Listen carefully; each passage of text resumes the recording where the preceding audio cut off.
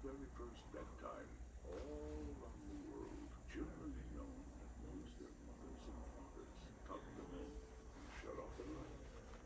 Then there are monsters hiding in their closets, waiting to emerge.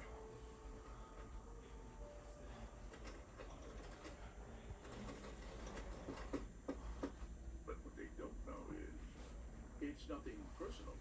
It's just their There's, no kid. There's supposed to be a kid. There's no kid to scare. I'm panicking because there's a total lack of kid here. Let's just check the schedule. Now, let me see. Nine o'clock. Boy's bedroom? Boys room. Out of Magnolia? Magnolia. Give me that.